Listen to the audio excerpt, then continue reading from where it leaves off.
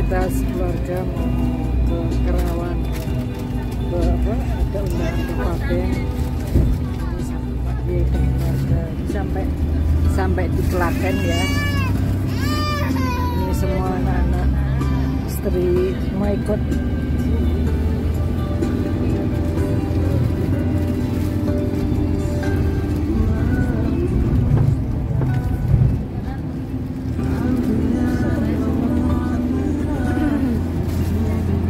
tadi berangkat dari pondok jam sekitar jam berapa ya? Jam setengah empat kalau nggak jam empat. Nah, diperkirakan nanti sampai ke Rawang itu jam satu jam satu malam. Nah, sampai di sana jam satu malam langsung di penginapan. Mau ke mana Gus? Yang jelas masih di alam dunia kan. mau ke Kerawang toh? Oh, oh.